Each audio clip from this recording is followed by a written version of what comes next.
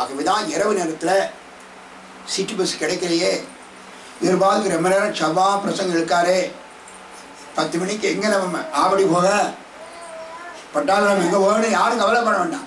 விபூதி நிறைய பூசுங்க. டக்குனு city bus ஈஸியாக கிடைச்சிடும். ஏன்னா நம்ம சுப்பிரமணியம் டாட்டா சும்மா இருக்கவே இருக்கு. என்ன கொண்டு விட்டுருவார். அதனால் விபூதி நிறைய பூசணும். அரைகுறையா பூசினா அந்த சிட்டி பஸ்ஸில் முண்டி அடிச்சு போய் ஸ்டாண்டிங்கில் போகணும். கிடைக்கணும். சீட்டு கிடைக்கும் ஆனால் ஸ்டாண்டிங்கில் போகணும் நிறைய பூசினா சீட்டு கிடைக்கும் சௌரியமாக போயிடலாம். பெரியவர்களே திருநீச்சு சார்புடைய ஏனாதிநாத நாயனாரை அறைவுகள் விடுத்து அதிசூர நிற்கிறேன். சரிட்டு அருமையாக ஏனாதிநாத நாயனாருடைய படை வீரர்கள் அதிசூரன் படை வீரர்களும் மோதுகிற காட்சி. பல பாடல்களில் இந்த சரித்திரத்தில் இடம்பெறுகிறது ரொம்ப அற்புதமான சண்டை. சண்டை நேர கண்முனால நடப்பது போல சேக்கலார் பெருமான் சித்தரிப்பார். அற்புதமான அந்த சண்டை காட்சி. இது இரவு நேரம் இந்த சண்டை காட்சியை நான் சொன்னால் ராத்திரி உங்களுக்கு கனவு கட்ட வேணும் பயந்துடக்கூடாது. நீங்கள் சண்டையில் பல உடம்புகள் தலை இல்லாமல் கீழே தொப்பு தொப்புன்னு விழும். போர்க்களம் பூரா ரத்தமாக ஓடும். இதை ம- வரிசையா நான் சொல்லிக்கிட்டு இருந்தோம்னா ராத்திரி படுத்த உடனே பல கனவுல வந்துடக்கூடாது உங்களுக்கு. அதனால அதை சொல்லலாம் வேண்டாம்னு நினைக்கிறேன். ஆனால் சேக்கரார் பெருமான் வாக்கு அந்த கனவு உண்டாக்காதிருக்கார். நிச்சயம் அந்த கன அந்த சண்டையில் ஒரு ஒன்று ரெண்டு பாடல். அருமையாக நம்முடைய நாயனாருடைய படை வீரர்களும் அழுக்காறு கொண்ட அதிசூரன் படை வீரர்களும் மோதுகின்ற காட்சி. வாளொடு நீள் கை துடித்தன மார்பொடு வேல்கள் குளித்தன தோளொடு வாடி நிலத்தன தோளொடு தோள்கள் தகைந்தன தாளொடு வார்களல் இட்டன தாரொடு சூழ் சிரமற்றன. நாளொடு சீரி மலைப்பவர் நாடிய போசை களத்தினில். என்று அந்த போர்க்கள செய்திகளை அழகா வர்ணிக்கிறார். சில இடங்கள தலையில்லாம உடம்பு அப்படியே போகுதான். அந்த முண்டை தலையை எடுத்தோன்னா கொஞ்ச நேரத்தில் இருக்கும் உயிருள்ள மாதிரி கொஞ்சம் கற்பனை பண்ணி பாருங்க. தலையில்லாத யாராவது கண்டக்டரோ யாராவது பேசஞ்சரோ பஸ்ஸில் இருந்தால் என்னத்துக்காக நமக்கு? ஒரே ஓட்டாவோட இறங்கின டிரைவர் மேலே எடுத்து ஓடிவார் அது கற்பனை பண்ணி பார்க்கணும். அந்த போர்க்களத்தில் தலையில்லாத முண்டம் அப்படி போகுதான். அந்த காட்சியை வர்ணிக்கிறார் ஆசிரியர். அப்படி வேகமாக வெட்டிட்டான். தலை போயிடுச்சு. விரைவாக வந்த வீரன் தலை இழந்த பிற பிறகும் கூட அந்த வேகத்தினால கொஞ்சம் தூரம் போனான் இந்த காட்சி. தோள்கள் மேல எண்ணற்ற அம்புகள். அந்த அம்புகள் குத்தி குத்தி குத்தி குத்தி அந்த அம்புகள் எல்லாம் கீழே விழுகிற காட்சி. வாளோடு வாழ் மோதுகின்ற காட்சி. எங்க பார்த்தாலும் ஓ ஓ என்று சத்தமிடுகிற காட்சி. போர்க்களத்தினுடைய செய்திகள் அருமையாக வர்ணிக்கப்படுகின்றன. சேக்கலார் பெருநாள். இப்பொழுது வீரர்கள் வீரர்களோடு மோதினார்கள். நாயனார் பின்பக்கத்தில் நிற்கிறார். முன்னால் தன் வீரர்களுக்கு ஏற்படுகிற நிலையை கண்டார். உடனே முன்னால் வர ஏனாதிநாத நாயனார் தன்னுடைய வாளை சுழற்றி கொண்டு வருகிறார். எதிரி படையில் உள்ள வீரர்கள் எல்லாம் இவர் வாளுக்கு இரையாகி ஓடுகிறார்கள். தப்பித்தோம் பிழைத்தோம் என்று. அதிசூரனுக்கும் ஏனாதிநாத நாயனாருக்கும் நேருக்கு நேர் சண்டை. சற்று முன்னால் வீரர்களுக்கு வீரர். இப்பொழுது நாயனாரும் அதிசூரனும் மோதுகின்ற காட்சி. ஏற்கனவே நம்ம கூறியபடி விபூதி நமக்கு ஒரு அருமையான ஆயுதம். அந்த விபூதி நிறைய புஷ்டிருக்கிற நாயனாருக்கு தோல்வி வருமா? வராது. ஆகவே ஆற்றலோடு சண்டையிடுகின்ற அற்புத நாயனாரை. அதிசூரன் வென்றுவிடலாம் என்ற அந்த கனவு பொடியாகிறது. நாயனார் அதிசூரனை அற்புதமாக அந்த போர்க்களத்தை தோற்கடித்து புறமுதையிட்டு ஓடுமாறு செய்கிறார். அதிசூரன் தலைதெறிக்க ஓடுகிறார். நாயனார் சந்தோஷமாக இல்லம் திரும்புகிறார். அப்ப சரித்திரம் முடிஞ்சிருக்குமே? அப்பதான் வெற்றி கிடைச்சிருச்சே. சரித்திரம் முடிஞ்சிருச்சா? இல்ல. நாயனார் செயற்கரிய ஒரு செய்ய செய்ய காட்ட சுவாமி காட்டுகிறார் அதிசூரன் தோற்றான். நாயனார் ஜெயிச்சார். எனவே இந்த புராணம் பூர்த்தி ஆயிடுச்சு அப்படின்னு யாரும் கனவாராதீங்க இன்னும் இருக்கு. முக்கியமான வழி இனிமத்தான் வரும் திருநீற்றின சிறப்பை நாயனார் சரித்திரம் எடுத்துரைக்கிறது என்று நாம் முதல் இரண்டாவது பாட்டை பார்த்தோம். தொன்மை திருநீற்று தொண்டில் சிறப்புடையவர் என்று பார்த்தோம். அத போர்க்களத்துல நாயனார் எப்படி கடைபிடிக்கிறார்னு பார்க்க போறோம். இப்பொழுது தோத்தது யாரு?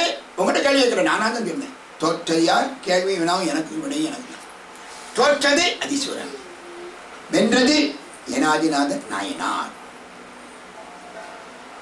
அவமானத்தினுடைய சிகரமாக அதிர்ச்சியினுடைய மகுடமாக அதீஸ்வரன் இல்லம் திரும்புகிறான். அன்று முழுக்க அவன் தூங்குறான் எப்படியாவது நாயனாரை வெல்லணுமே. என்று ஏழு தடவை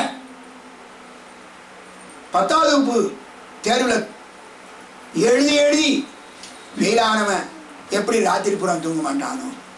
அது மாதிரி ஏழாவது தடவையும் நமக்கு கிடைக்கிறையே மார்க்குன்னு சொல்லினாங்க. அதுபோல அதிசூரன் இரவிலே அப்படியே தன்னை மறந்து என்ன செய்யறது? நாயனாரை எப்படி வெல்வது? சதி திட்டம் போடுகிறான். அவன் மனசுல ஒரு விபரீதமான கருத்து உருவாகிறது. சரி. நாளை நாயனாரை வென்று விடலாம். எளிதான வழி இருக்கிறது. ரெண்டு தூதர்கள் அனுப்புனா எயிரனூர் என்று சொல்லக்கூடிய அந்த அந்த அருமையான ஊர்ல ஊர் கடைசியில் ஒரு மைதானம் இருக்குது அந்த மைதானத்தில் நாளைக்கு நாம் ரெண்டு பேரும் தனித்தனியாக சண்டையிடணும். கூட வீரர்கள் வேண்டாம். அவர்களுடைய உயிர் வம்பா வீணாகுது இறக்கம். இவன். நாம் இருவரும் தனித்தனியான யுத்தம் செய்வதற்கு நாளை மாலையிலே ஐந்து மணிக்கு வருக. அஞ்சு மணிக்கு நான் பெரியவரம் இல்லை நீ வாட்டி வீட்டில் போய் தேடி பார்க்காதீங்க. ஒரு உதாரணம் ஒரு நேரம் சொல்லி மைதானத்தை சொல்லி தூது விடுகிறான் அதிசூரன். நாயனார் மகிழ்ச்சியோடு ஏற்றுக்கொண்டார். அப்படியா? போன அதிசூரன். போரில் அவருக்கு அழிந்த மானமிக மீதூர மண்படுவான் கண்படான் ஆன செய்ய செயல் ஓர் இரவும் சிந்தித்து அலமருவான் இனமிகு வஞ்சனையால் வெல்வன்ய எண்ணினான். போன அதிசூரன் போரில் அவருக்கு அழிந்த மானமிக மீதூர அவமானம் இருக்குது. போர்க்களத்தில் ஏனாதிநாத நாயனாருக்கு தோற்று விட்டேன் என்றார்.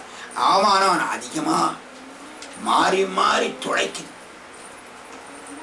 அவன் மண்படுவான். நாளைக்கு அவன் தோக்க போறான். முன்னாலே சொல்லிட்டார் சேகர் பெருமான் மண்படுவான்.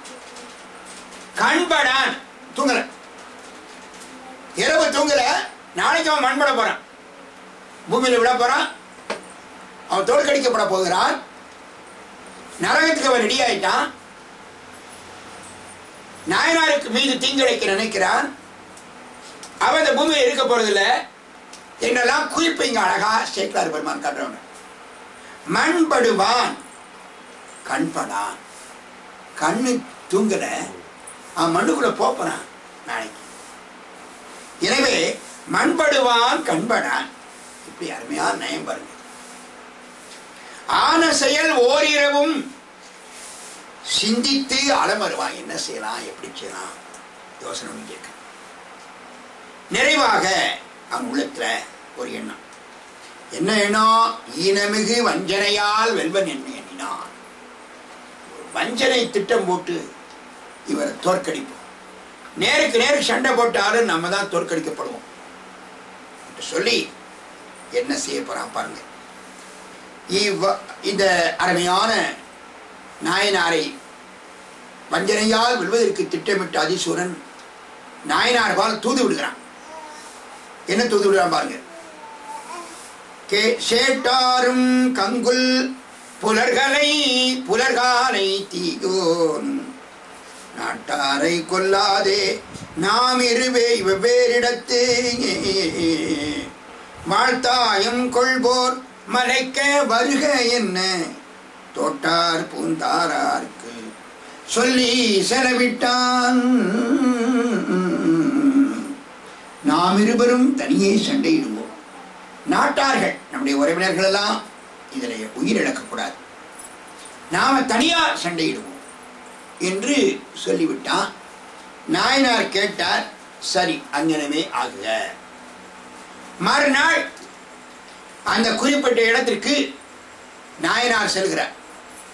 அந்த மைதானத்தில் தூரத்தில் அதிசுரன் வரும்போது எப்படி வரான் தன் முகத்தை கேடயத்தால் மறைத்து அப்படியே அப்படியே மறைச்சுக்கிட்டே வர முன்னலவான்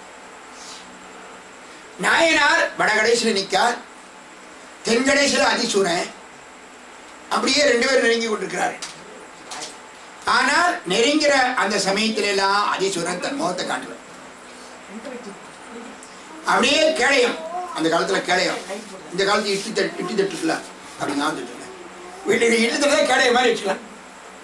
அந்த மாதிரி கேடயம் வாள் தாக்குனாலும் துளைக்க முடியாத ஒரு அருமையான தடுப்பு கருவி. அதை இடது கையில வச்சிருப்பாங்க. வலது கையில வாள் இருக்கும். சண்டையிடுகிறவர். இப்பொழுது இந்த கேடயத்தை கிழதை வச்சுக்கலாம்னா அவன் அப்படி வைக்கிறேன் முகத்தை மறைச்சிக்கிட்டே வான இந்த தீவிரவாதிகள் முகத்தை மறைச்சிடுவாங்க. போட்டோ எடுக்க போது இங்கே பத்திரிகையில் பார்க்க அவன் முகம் தெரியக்கூடாது. முகத்தை பார்த்தா நமக்கு பாவம் பி- பிடிச்சிரும்ல அதனால அவன் மேலே நம்ம மேலே இறக்கப்பட்டு. இந்நேரம் குண்டு வைக்கிற தீவிரவாதிகள்லாம் முகத்தை மறைச்சு போஸ் கொடுப்பாங்க. அதே மாதிரி கேடயத்தை மறைத்து வைத்துக் கொண்டு முகத்தை மறைத்து வைத்துக் கொண்டு முன்னேறி வருகிறான் அதீஸ்வரன். நாயனார் பார்க்கிறேன் எப்படி வரான்? எரிஞ்சாச்சு. ஒரு அடிதான். ரெண்டு பேரும் மோத போறாங்க. வாழோடு வாழ் மோத போகிற சமயம்.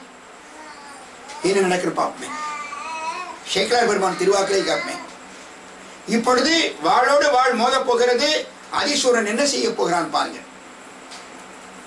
அவன் என்னமோ ஒரு திட்டம் போட்டானே அந்த திட்டத்தை பாருங்க.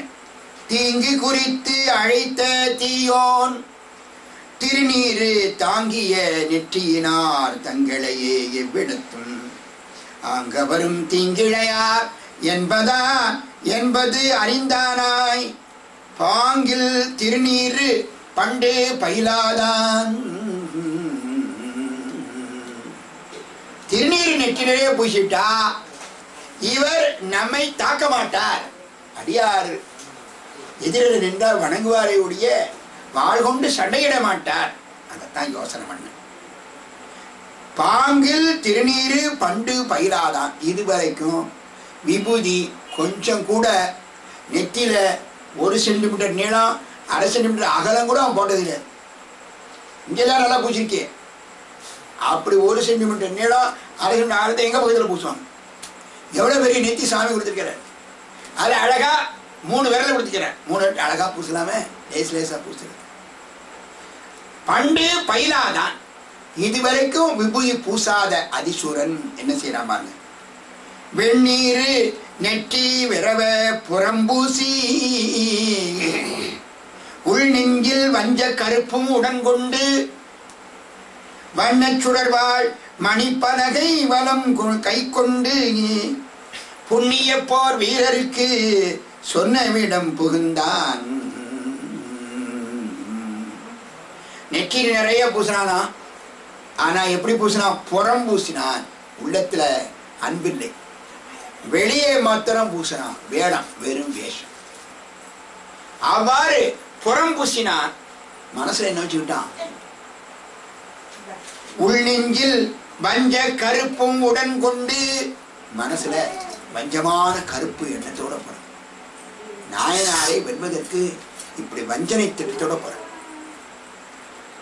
வண்ண சுடர்வாள் மணிப்பலகை கை கொண்டு அந்த கேடயம் கை கொண்டான் புண்ணிய போர் வீரருக்கு இது.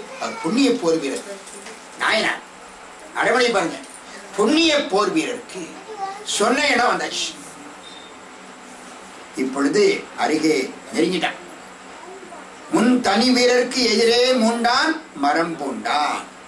அப்பொழுது ஒரு அதிசயமான நிகழ்ச்சி நடக்குது. அடல் ஏறு என்ன? அடர்த்தவனே கொல்லும் இடை தெரிந்து தாழ்பெயர்க்கும் ஏனாதி நாதனார்.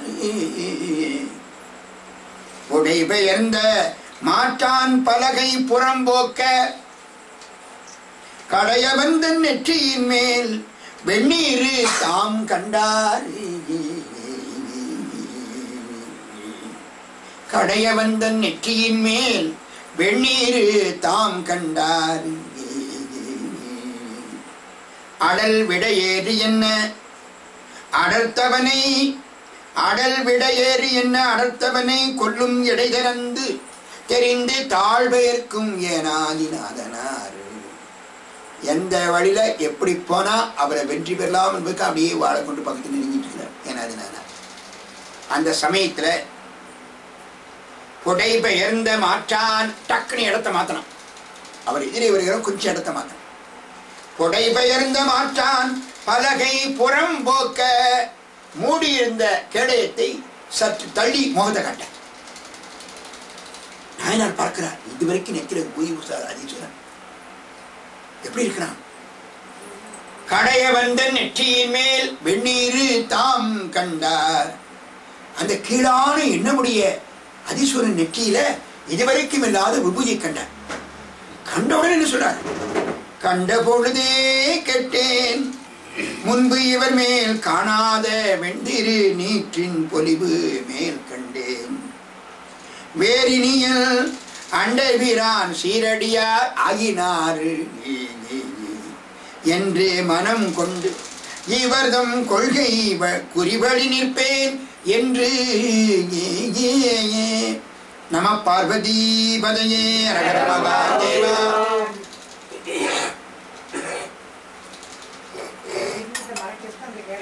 ஆ. கண்ட பொழுதே பார்த்த உடனே அதிலோ நான் தப்பு விட்டேனே. நான் யார் சொல்ல கண்ட பொழுதே கெட்டேன். முன்பு இவர் மேல் காணாத இதுவரைக்கும் இவர் நெத்தில உபுதி இல்லாத அந்த முன்பு இவர் மேல் காணாத வெண்திருநீற்றின் பொலிவு அந்த விபூதியுடைய அழகு முன்பு இவர் மேல் காணாத வெண்திரி நீச்சின் பொல்- பொலிவு மேல் கண்டே வேறினியல் வேற என்ன நான் செய்ய முடியும்? இவருக்கு நான் இவரை நாம் எதிரியாக கொள்ளலாமா? கூடாது எனவே நாம் இனி பணிந்து விடுவோம் என்று சொல்லி வேறினியல் அண்டர் பிரான் சீரடியார் ஆகினார். இன்றைக்கு முதல் பரமேஸ்வரனுடைய அடியாராக அதிசுரர் மாறிட்டார். அதனால அவர் என்ன குறிப்பு கொள்றாரோ அதுபடி நம்ம நடந்துருவோம் பண்டை பிரான் சீரடியார் ஆகினார். என்று மனம் கொண்டு இவர்தம் கொள்கை குறிவழி நிற்பேன் என்று. தலை இப்படி குனிஞ்சார்? அவன் வாழ்த்து வெட்டட்டும் தலை தலை குனிஞ்சார். அடியாராகிய அதிசூரன் முன்னால் நம்ம சண்டை போடலாமா? அவர் என்ன நினைச்சாரோ அது செய்யட்டும். யார் நினைப்பா? அப்படியே தலை குனிந்தார். கொஞ்ச நேரம் ஒரு சிந்தனை. கைவாளுடன் பலகை நீக்க கருதியது. தன்னுடைய கேடயத்தையும் தன் வாழையும் கீழே போடலாம் நினைச்சார். ஆனா இன்னொரு எண்ணம் உதயமாகுது. கைவாளுடன் பலகை நீக்க கருதியது செய்யார். வாழையும் கிழையத்தையும் கீழே போடவன் நினைச்சார் ஆனால் அதை செய்யல. எதற்காக? செய்யார் நிராயுதரை கொன்றார் எனும் தீமை எய்தாமை வேண்டும் இவருக்கு. இந்த சிவனடியாருக்கு நிராயுதபாணியாக இருக்கிற என்னை கொன்ற பாவம் அவருக்கு வந்துடக்கூடாது அந்த காலத்துல ஆயுதம் இல்லாதவர் நிராயுதபாணி.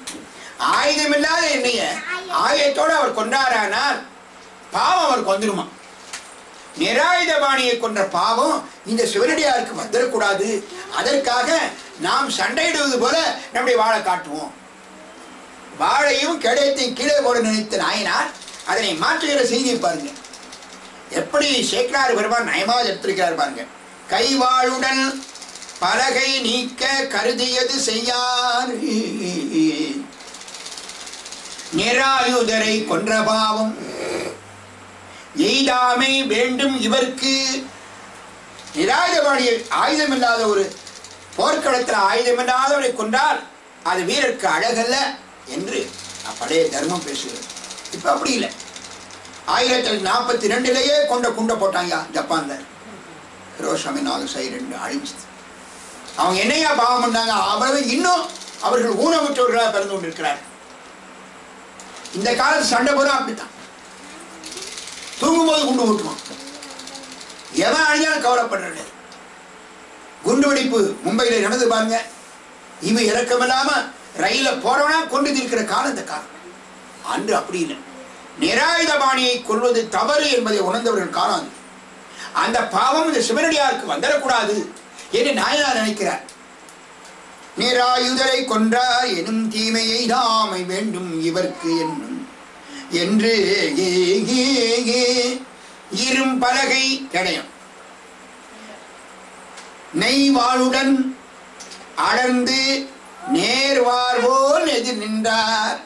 சண்டையிடுதுமா நிற்கிறார் சண்டையிடல. சண்டைக்கு வருதுமாறு வாழையும் கிடைத்து வைத்துக் கொண்டே பக்கத்துல போறார். சுவாமி சேக்கலார் பெருமான். அந்த அதிசூரன் செய்த விஷயத்தை அவன் நினைச்ச காரியத்தை முடிச்சான் பாருங்க. அதை எப்படி பாருங்க. அவர் வாக்குனால நல்ல இதாக சொல்லுவார். கெட்ட விஷயங்களை அவர் சொல்ல மாட்டேன் நாயனா சேக்கலார் பெருமா. அந்நின்ற தொண்டரு திருவுள்ளம் ஆரறிவார் முன்னின்ற பாதகனும் தன் கருத்தே முற்றுவித்தான். அந்நின்ற தொண்டர் திருவுள்ளம் ஆரறிவார் முன்னின்ற பாதகனும் தம் கருத்தே முற்றுவித்தான் இன்னின்ற தன்மை அறிவாரார் இவர்க்கு அருள மின்னின்ற செஞ்சடையார். தாமே வெளி நின்றார். ஹரஹரம பார்வதி பதையே அந்நின்ற தொண்டரு திருவுள்ளம் ஆறறிவார் கொஞ்ச நேரத்துல இந்த உலகத்தை விட்டு அவர் போப் போறார். வாழும் கேடயமும் நன்முறையிலே பயன்படுத்தக்கூடிய பேராற்றலுடைய நாயனார். நிராயுதபாணி கொன்ற பாவம் எதிரே இருக்கிற வஞ்சக அடியாருக்கு வரக்கூடாது என்பதற்காக கையிலே வாழும் கேடயம் ஏந்தி பக்கத்தில் நெருங்குவதுவோ நடிப்பதுவோ நடித்துக் கொண்டிருக்கிற நாயனாரை அவன் என்ன செய்ய போறான் என்று தெரிந்தும் கூட துணிச்சலாக நாயனார் செல்வாரானால் விபூதி மேல் வைத்து இந்த வாஞ்சை இருக்கிறதே தீராத காதல். அதைதான் சேக்கலார் பெருமான் அந்நின்ற தொண்டரு திருவுள்ளம் ஆரறிவார் அந்த திருவுள்ளம் பாருங்க. ஆகா விபூதி அடைந்த ஒரு சிவனடியாரால நான் இந்த உலகத்தை விட்டு நீங்க போக போறேன். அவர் மனம் சந்தோஷப்படும் நாமெல்லாம் கோபப்படுவோம் அந்நின்ற தொண்டரு திருவுள்ளம் ஆரறிவார் அந்த திருவுள்ளத்தின் பெருமை யாராலும் அறிய முடியும்? முத்திநாதன் நுழைஞ்ச போது மெய்ப்பொருள் நாயனாருக்கும் தன் எதிரின்னு தெரியும்.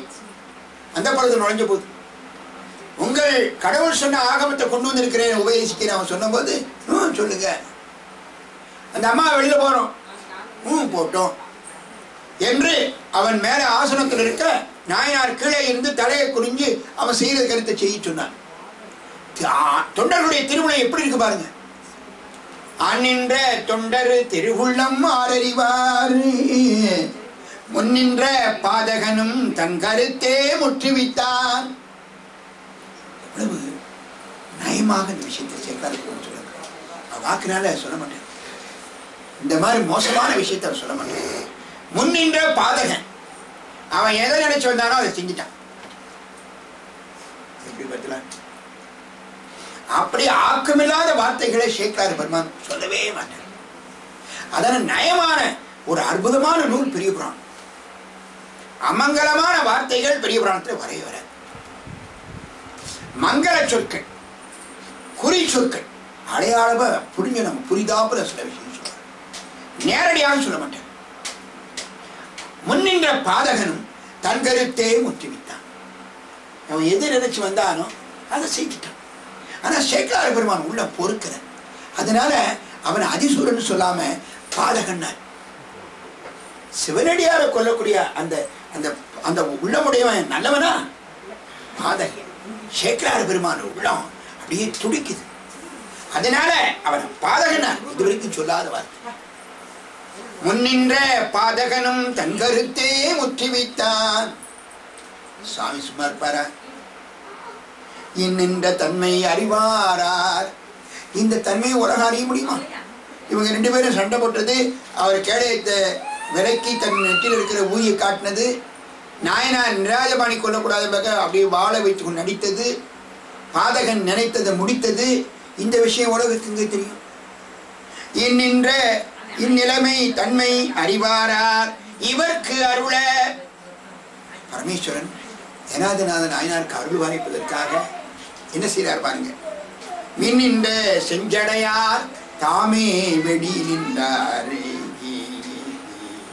அழகாக மின்னல் போல ஜொலிக்கின்ற ஜடாபாரத்தை உடைய பரமேஸ்வரன் வானலோகத்துல வானத்துல காட்சி கொடுக்கிறார். வெளி நின்றார். மற்றி நாம் போற்றுவதின் வானோர் பிரான அருணை பற்றவர்தம் பற்றலதம் கைவாளால் பாசம் அறுத்தருணி உற்றவரை என்றும் உடன் பிரியா வகை உடன்பிரியா அன்பு அருளீகி பொற்றொடியாள் பாகனார் பொன்னம்பலம் அடைந்தார் அரரம பார்வதி பதையே அரரம மற்றினி நாம் போற்றுவதல் ஒரு பெருமையை நம்மளால் சொல்ல முடியுமா? ஏன்னா நான் பெருமை. வானோர் பிரான் அருளை தேவர்களுக்கெல்லாம் தலைவனாக இருக்கிற பரமேஸ்வரன். தேவர்களுக்கெல்லாம் தலைவன்? மகாதேவன் சிவருமான் தான். எனவேதான் நாம் திருக்கோயில்களையும் வழிபாட்டுகளையும் நாம் விடுகின்ற கோஷம் தேவர்களுக்கெல்லாம் மேலான தேவன் பரமேஸ்வரன் சொல்லி அவருடைய உயர்வை காட்டக்கூடிய கோஷம் நம்ம செய்யறோம் அரகர நம்ம பார்வதி பதையே என்று சொல்கிற சமயத்தில் பார்வதி தேவியாருக்கு மட்டும் கணவன் அல்ல அவருக்கு மட்டும் நாயகன் அல்ல. அரகர மகாதேவா தேவர்களுக்கெல்லாம் தலைவன். அவர் அம்மைக்கும் தலைவன் நமக்கும் தலைவன். அரகர மகாதேவா என்று பெருமானுடைய அந்த சுப்ரீவசி உயர்வு சிவபெருமான் தேவர்களுக்கெல்லாம் மேலான தேவன் என்று தம் உள்ளத்திலே பதிய வைக்கக்கூடிய அருமையான கோஷம் தான் அரகர நம பார்வதீபதே. அரகர மகாதேவா என்பது. இதனுடைய ஆழம் தெரியாம சில பேர் அலட்சியப்படுத்திட்டு இருக்கிறாங்க. ஐயோ பாவம் அவங்கள பார்த்து பரிதாபப்படணும். கோபப்பட வேண்டாம். என்னைக்காவது ஒரு நாள் நம்ம பக்கம் வருவாங்க.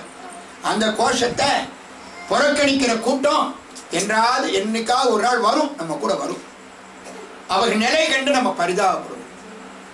முப்பத்தி முக்கோடி தேவர்கள் கூடியிருக்கிற அந்த இமயமலை மகாராஜா கல்யாண வீட்டை வச்சு மகாவிஷ்ணு சிவருமான பாராட்டு அந்த கோஷம். அரகர நம பார்வதி பதையேன். அரகர மகாதேவா. இனி மகாதேவன் அன்னை உமாதேவருக்கு கணவன் என்று இரண்டு வகையாகவும் சிவபெருமானை புகழ்கின்ற கோஷம் அந்த கோஷம். எனவேதான் இந்த இடத்துல மிக அருமையாக சேக்கலார் பெருமான்.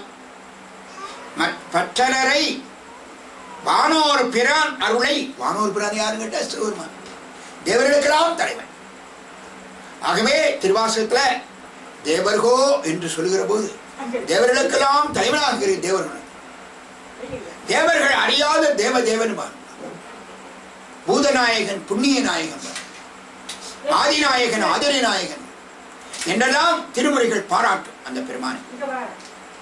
தேவர்கோ அறியாத தேவதேவன் திருவாசன் இந்திரன் அறிய முடியாத மகாதேவன் பரமேஸ்வரன்.